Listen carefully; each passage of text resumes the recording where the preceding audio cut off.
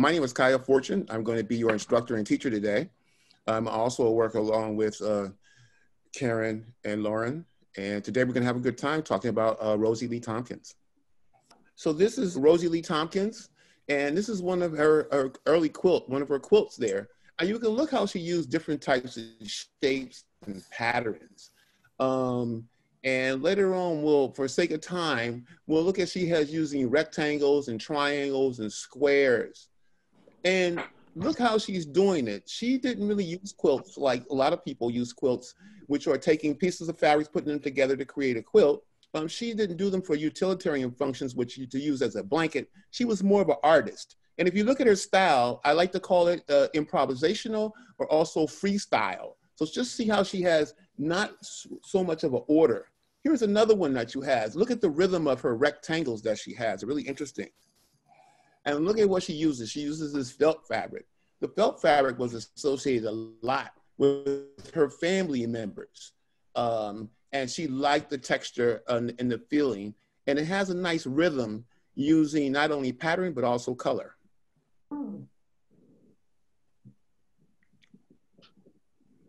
Wow. This is for, for me, it looks like planetary. It's like a planetary piece with the stars in it. And once again, you see how she's using the squares, the nine patch squares, uh, and we'll talk about that in a minute. And um, the other shapes that she's using also, the triangles.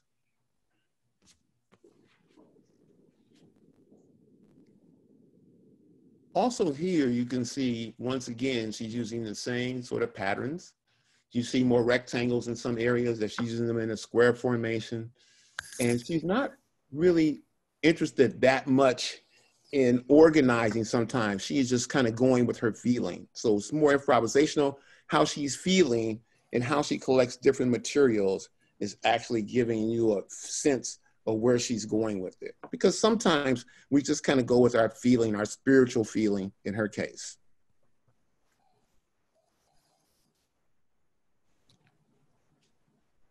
Now, the, the, the, design we're going to talk about today is the design in the very top, the mandolin design, which is the triangular design, which is universal in Africa and all over the world, Asia, all over the world. This design is used over and over again. And look how she uses the color in contrast. So contrast means a light color against a dark color and vice versa.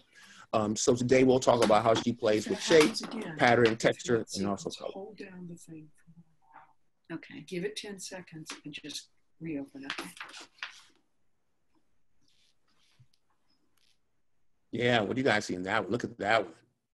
Look how she focuses on the very center with the different triangles, the lights and darks once again, contrast colors. And then she's just kind of having fun where it's down at the very bottom. She's just kind of creating these sort of square and rectangle pieces inside of pieces. So she's layering uh, the different ideas inside of each other. And each one had their own personality, almost if they had their own sort of community. I like to use them as almost having a community that's separate from the other and having different feelings.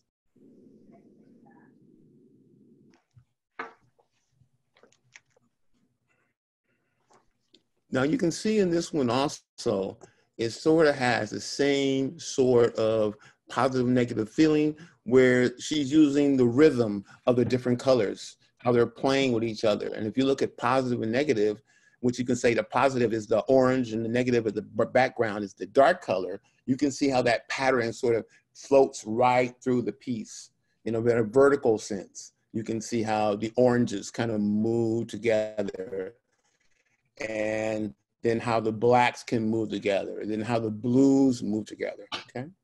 In the last piece that we're gonna talk about, um, you can see how she's using religious symbols, the cross. She's using text and words, um, and she's using dates. These are probably dates of people who in her life have passed away, uh, dates of people, uh, of friends and family, and also scripture. All right. So we talked a little bit about um, Rosie Lee Tompkins. I'm just going to go briefly, then we'll get right into the activities. Um, Rosie Lee Tompkins was born in uh, 1936 in Gould, Arkansas uh, as Effie Mae Martin. Uh, she later changed her name in collaboration with her collector to become um, Rosie Lee Tompkins. She later migrated from um, Arkansas to Richmond, California during the 1960s.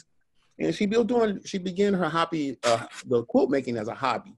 So what she did is she went to a lot of flea markets and she went to different areas like flea markets, um, secondhand stores, and old clothing. And she um, deconstructed those things and put them together to make her quilts. Um, and she was really inspired to do her quilts by um, her spiritual belief. She was a very religious woman, and also her family members. It was a way of keeping her family members alive uh, in her quilts and keeping them present. Okay, first of all, we're going to start our lesson right now. I want to know if everybody has the material. So what I'm going to do is when I hold something up, you hold it up, okay? You should have two pieces of contrast, contrasting construction paper. Everybody got that? Hold it up if you got it. Two pieces of paper. You got it? Everybody got it. Okay, now here's the idea. You should have one piece that you're going to cut and one piece for your background. Everybody got that? Okay, so your background piece is going to be on your table right now. Put it down right now. You're ready to go. Okay? And your other piece, which is your piece you're going to cut, should be right there on top because we're going to have to fold this in a minute. Okay, everybody got that? Everybody's got scissors. Everybody scissors. Scissors present. All right. Glue stick. All right. Glue sticks. And if you have Elmer's glue, it's fine too. It's fine. All right. Well, let's get started. I'm ready. So the first thing we're going to do is we have to create this square. Okay. So bear with me a second. I'm going to take my sheet of paper here. Everybody take your sheet of paper. Let's get started. Everybody ready? Okay, you're gonna watch Mr. Fortune first. Kai, you're gonna watch me first. Now we gotta create a square. So let me put my screen down. Everybody should be able to see that. Now we have to create this square. So you're gonna take your paper, give me the very end of it. You're gonna fold it until you can crease it right in the corner here. You're gonna take that forward. You can't go anymore. It should go right to the edge of the paper. It should go right to the edge. Let me pull this back a little bit. You can see right to the edge, and then you're going to fold that. Everybody's got that? Fold it right on the crease right there. Everybody got that? All right. All right. Does everybody? So it should look just like this. It should look just like this. Everybody see that? Everybody show me that. You got that, everybody? Great. All right, let's get your scissors out. Scissors. Do do do do do do. Scissors. Ready? Now, we're going to cut. Let me show you a little bit. We're going to cut along this line. Can everybody see me? I'm going to cut along this line right quick. We're going to go straight across. Just keep your scissors open and make a continuous motion right across there, right across. All right, boom, got it. Now this is gonna be your scrap here. So keep your scrap and put it to the side. And now we should be, we should be ready with our square. And let's open it up. We have a square. Got it? Now we have to fold it. Okay? And let's see how many times. Everybody ready? Put your paper up if you're ready. Everybody's ready so I can see everybody? Jill, how do I get to the other screen, the kids? Oh, they have to do it gallery. I'm fine. I'm just good. Oh. Okay? All right, here we go. Let's fold it. Everybody ready? You're not, you don't. We're going to fold it in half first. Fold your paper in half, edge to edge. Watch me bring it down here.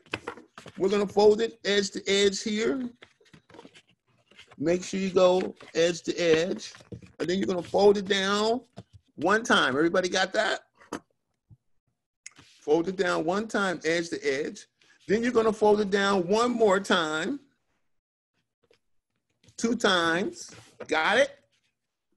Two times. Everybody see that? Good. Then we're going to go one more time, three times. You got to put a little elbow grease in this one. So three times, we're gonna go three times to fold it down.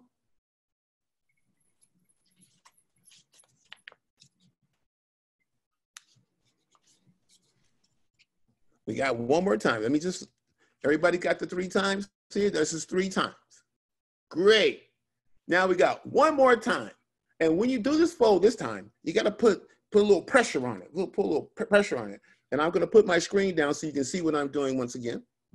Okay, we're going to fold over. Uh, even hard for me. One, two, three, and squeeze down. Uh, press down all the corners. And now we're ready to go. Uh, uh, uh, uh. All right. Now we're going to open up. And let's see how many squares we should have in it.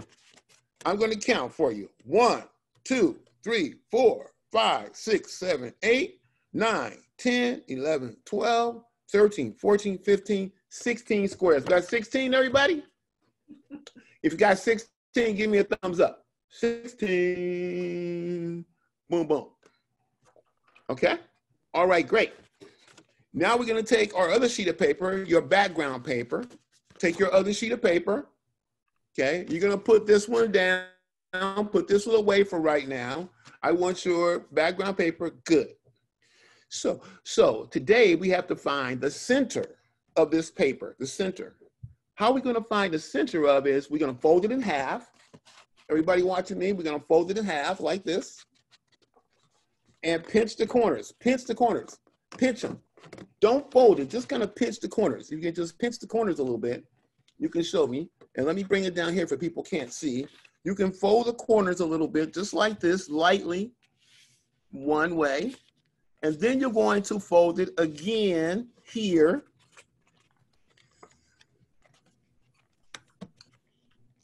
This on the corner here, on this corner that unifies everything, on this corner, we're gonna press that down a little bit. And then we're gonna open it up. Then we're gonna open it up. Everybody can see that center? All right. If you have a pencil, take your pencil, grab a pencil, and put a dot in the center. So I'm to show you again. You can put a dot in the center so we can get started. See? I'm going to put a dot right there in the center. So you can put a dot in the center of your page. That's where we're going to start.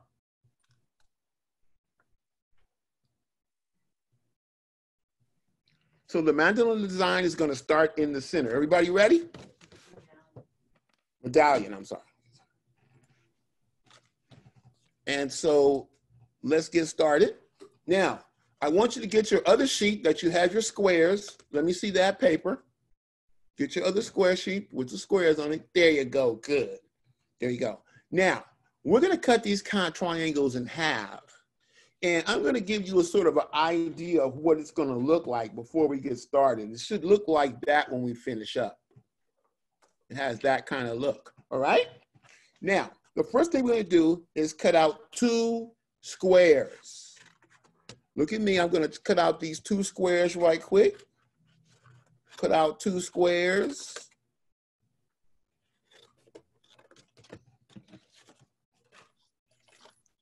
And then I'm gonna cut these two squares one in half and we're ready to go. Everybody see my two squares here? We got two squares. Take your time. When you're ready, show me the two squares and we can start. Can you cut them from anywhere? Nope, nope. Hold on one second. I'm going to show you. Yeah, these two you just cut from anywhere. Yeah, the two squares anywhere, it's fine.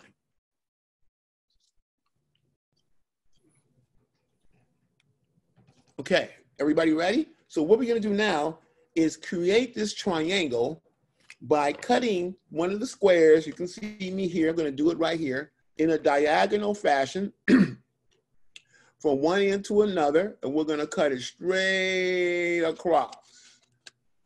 One, I got two. I should have four to get started with our design. I'm going to do it again. This is your second one. I'm gonna take it and cut it straight across here, straight across. Ooh, from one end to another. I like to open my scissors up and create a continuous line, almost like when you're drawing. It's a continuous line. Now I should have four triangles. Everybody got four? Boom, boom, boom. Okay, let's get started. Now, I'm gonna put my computer down for a second. Everybody grab the glue stick, please, glue stick. And when you're using a glue stick, we wanna make sure we just turn it up just a little bit because we don't want to uh, ruin the glue stick. So we just try to make sure we support and uh, use our uh, materials effectively, okay? Here we go. So the first one, let me do this. I'm gonna put it down. This is gonna be at the very top. So I'm gonna take these and put them away. At the very top, you're gonna take this one and put it at the very point. So you put a little glue on the back of it. Look what I'm doing here. I'm putting a little glue here on the back.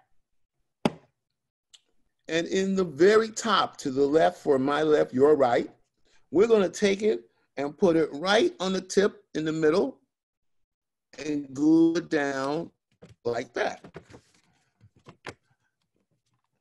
All right? Everybody's got that? And then we're gonna go next to it and do it the opposite direction, which is going to be like this. It's gonna be right next.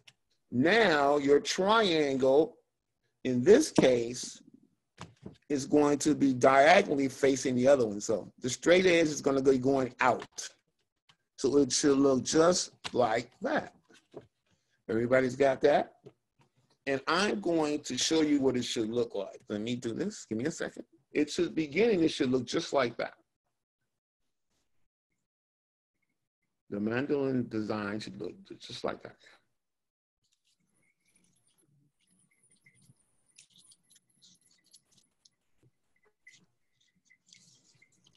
All right, then we're gonna move on to the next two steps. And we're ready to rock and roll.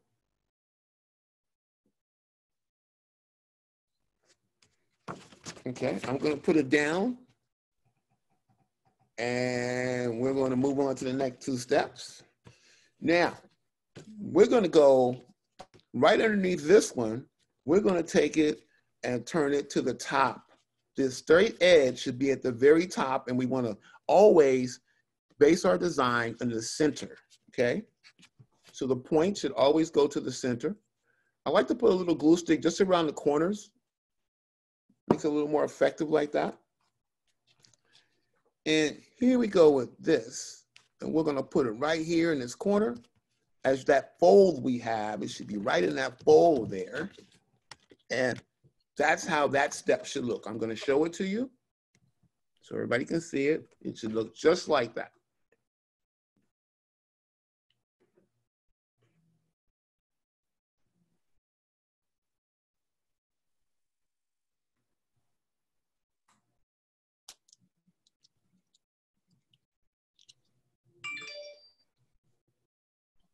Okay, everybody ready for the next step? Give me a thumbs up if you're ready for the next step.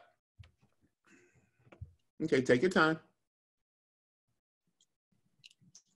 Okay, I'm gonna move on to the next step, the last step. This. My last triangle, which looks like this, if everybody can see me, make sure I get nice and right there. There you go. The last one at the bottom is going to be on the line, the vertical line. We're gonna have a straight edge and this straight edge is going to be right on the center line. And we're gonna put a little glue around it.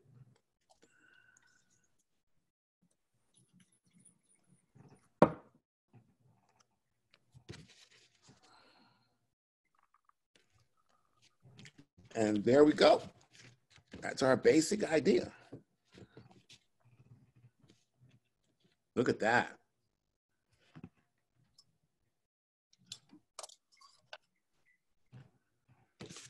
So this should be our basic idea starting right now.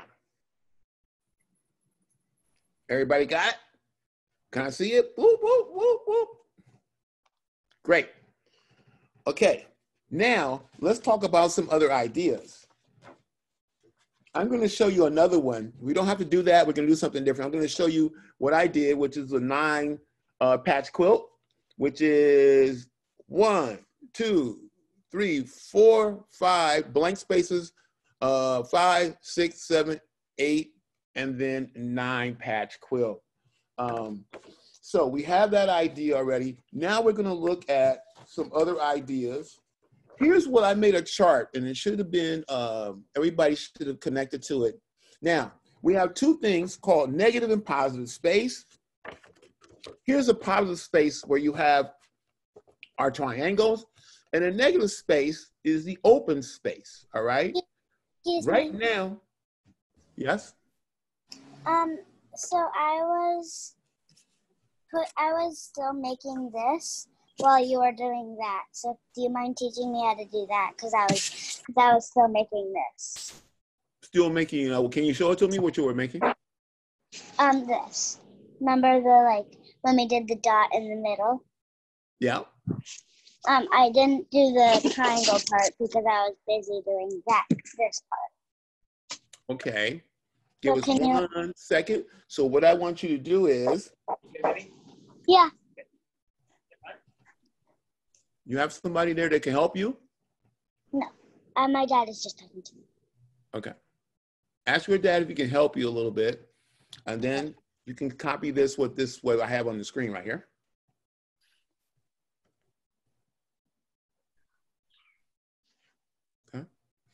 All right. Um, so what we're gonna do now is you can take some triangles. Look at what you can do. So I want to play around. I'm gonna show you some examples of what I've done. Um, and I've taken everything from showing you how to use triangle patterns, how to use, you can use, start cutting around it or inside of it. You can use a series of rectangles that I used. So I use rectangles, two diagonal rectangles, use it in a different formation, made a shape out of the rectangles. And then also I use a series of circles you can use in a pattern also. And I'll give you a good example of what that looks like um, and let you get started. So I kind of play with squares too.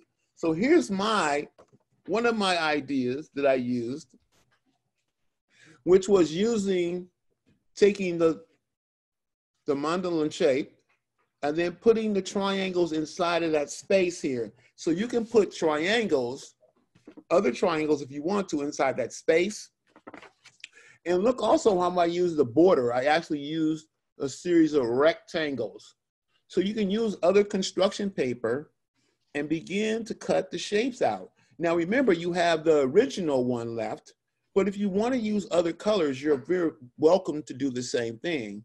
And you can be free. And what I do a lot of times is that I just have scraps. I just have scraps. And I can cut these scraps, some of these scraps, I've got colors. And I could take some of these scraps, fold them in half, fold them in quarters. Now I have four shapes and I can start to cut them and everybody can start to do their own thing right now. Once you start looking at what you're doing and start cutting your own shapes. On your screen, you should see you can use rectangles, squares, whatever you like. And in my case here, I've got some rectangles. I'm gonna put these rectangles out here I'm gonna play around with this area maybe on the outside. And I'm gonna put some rectangles on the outside of my, uh, my design here. And you can start playing around with triangles. And I'm just gonna start playing around with my rectangles here, around the outside of it. You can start playing with any design you like. Okay. And if you have strips of paper, give me a strip of paper like this. And you can also just start cutting strips. It's real simple. Get some different colors, like I did. Let's, you can start cutting some strips. Everybody, if they have the ability, let's start cutting some nice strips. See what we get.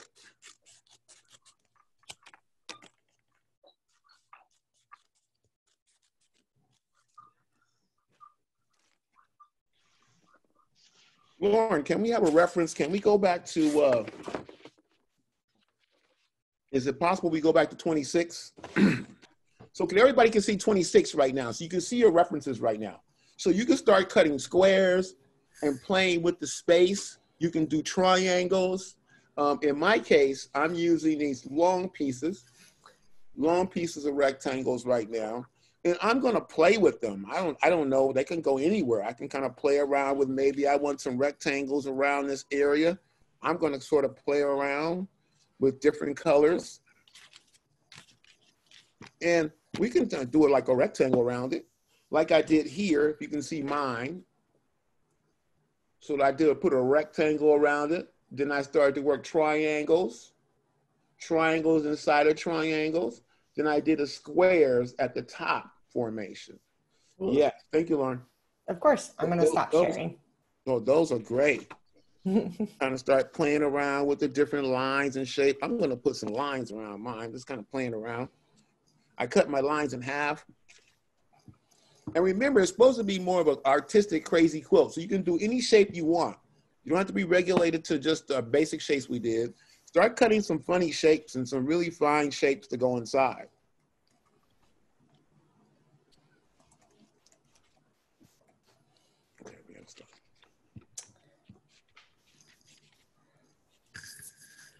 Just kind of having fun with it. I got some lines on the exterior of it. Mm-hmm. And Kaya, we were thinking maybe about another 10 minutes of activity and then we'll Okay. share at 120. Sounds good. Perfect. Thank you. Also, you guys, I have this idea. One more idea, many ideas. I get a piece of construction paper that I have. Can everybody see me? Okay. I'm going to take a piece, these two squares that I had, and I have these two squares. And you know what I'm going to do? If I fold two pieces of paper together, I get two designs, right? So I'm just to do a free form, which is just cutting like a puzzle shape. I'm just to cut a free form and see how it comes out and get really into what she would do. And she wanted to just do, we could create our own sort of shape with it. And I have these two shapes. Look, woo, it's like a puzzle shape. And I'm gonna put these puzzle shapes right in the middle. Let me glue these down. I'm gonna put these right here in the middle on one side. Oh, nice, nice. Then I'm gonna put it on the other side. Hey, Kaya, Uh-huh. can you turn your camera to show your workspace? Yes. Sorry about that. Here you guys go. So I'm just putting shapes and just creating a series of shapes to go inside these spaces here, right? And I think I need to turn that around much, much better. There you go. And I'm just having fun. And it's all right if it overlaps their design. It's fine if it overlaps, right? So we're playing with that. And let's get some more color because we have enough orange going on. It's driving me crazy. And so let's get some other color here. Um, I got some, oh, I love this hot pink. Let's get some red. All right, I got some red here. I like to fold it in half. You guys can cut it. And a good way to do it is you just cut the paper in half. One second. You just can cut the paper in half. Right? And then if you want to fold in quarters, you can fold in quarters too. One, two, three, and four. Now we got four ideas. Four ideas. Now, let's say we do a couple of things. Let's do some squares. Why not? Right? We did some rectangles. Let's do some square squares and see what we can do with our square pattern. So I'm gonna cut this rectangle here. I got some rectangles over there. I'm gonna cut a square, and then I've got a square, and I've got this funny L-shaped pattern that I can use. I don't know where I'm gonna use it. And remember, you can use your scraps. So any scraps you have available, use your scraps to go in there too, okay? So I've got a couple of these squares here. Look, I've got two sets of squares here, right? And I got my two sets of squares, and I'm just gonna cut them in half. And then maybe I can create a pattern with the squares. So I'm gonna put my workspace down so everybody can see it. I'm gonna take my red squares and create a pattern. I'm going to create what they call a stair-step pattern, and I'm going to begin by putting, uh, oh, I'm like, oh, I can put them in the corner. Oh God, there you go, it's a space. I got a space. I can put some in the corner there. Um, I can have fun and turn them the other direction. So put the glue stick down on the paper first, and I can turn it that direction. All the open space that we have available, just play with it. We're just kind of having fun today, and we just kind of play with the open space. Now I have uh, some open space over here in the corner. And Rosie Lee Tompkins really was about um, improvising as she went along right? She was just kind of having fun. So if I overlap this on top of this, is fine. And then I have one more. And then I have one more. So you can see my workspace here. I'm gonna go right in the corner here and put another one in there. Wow, here we go. Now it's coming together. Now it's coming together. Now I have this different colors and the colors creating a rhythm. So you can see colors against each other, especially when you have the red against the yellow and you kind of having these shapes and patterns against each other. Now, maybe I want to concentrate a little more in these areas that are empty spaces and I can go play with that. So maybe I'll do a triangle. All right.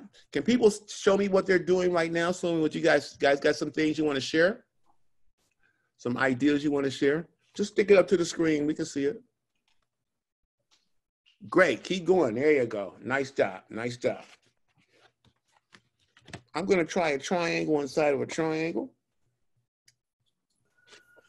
So let's kind of have fun with that. Mm. Also, these are really good when you have these ideas. And so this is the triangle, what I did before, the triangle inside the triangle formation. So you can have that sort of idea. And you can start working around um, your shape right now. Start working around it. So I got some purple here, just kind of playing around. And you know, also you guys, if your shapes seem to be a little big for your space, you can put, like I'm gonna put all my four uh, pieces together here. And if they're too big for my space, I like to whittle them down. And so what you can do is start to cut maybe on one end, cut a little bit off. There you go. It's too big. And I can cut some of this end off.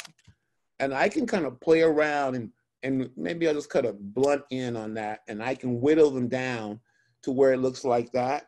Now let me see how it fits in my spaces here that I have available. And remember, all the scraps you have, you can also just add those scraps here I am. So I'm going to work in those spaces right here by pretty my, just putting a nice little triangle there and a nice triangle here, just kind of playing around with the area and the space a little bit.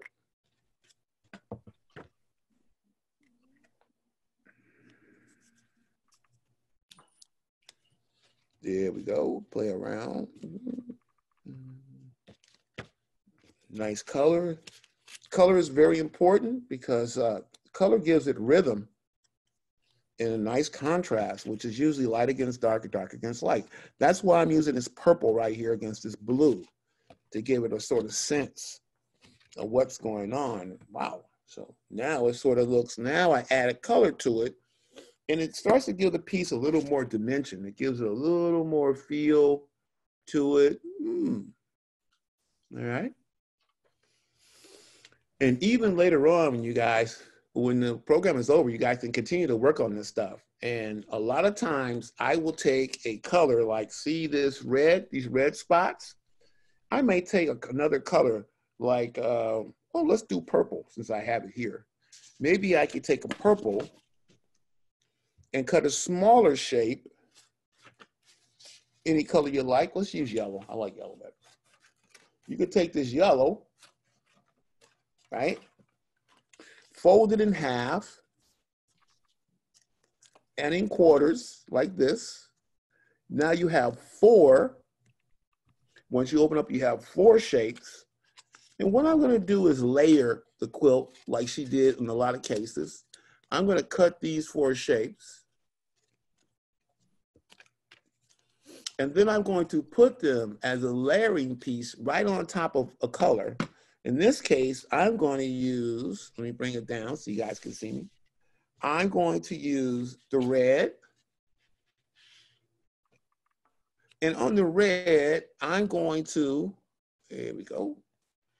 I'm going to put just a little bit here down and layer up the color right inside the other color. Now it gives it a little more dimension. Kind of have fun with it a little bit. And now we're gonna just give it a little more dimension with the squares inside of a square. And a square inside of a square. We'll give it some more dimension. And then I'm gonna put another square inside of a square. You guys can see that. And now we have something totally different going on. I really appreciate everybody being creative, just using the concept and then using their own concept with it. So remember, we all get, all artists get our ideas from different people and then they we recreate this and make it our own. So I love that you guys, you know, use some of the ideas and you decided to use other things that you saw uh, in the presentation to create your own voice and vision. And I really appreciate you guys all. Um, keep doing art, keep doing art because we need to see new artists in the world, new artists, new creative uh, spirits. Um, and uh, I thank everybody for participating today, parents and also um, the children. Thank you very much. And I will see you guys soon. Bye. Thank you.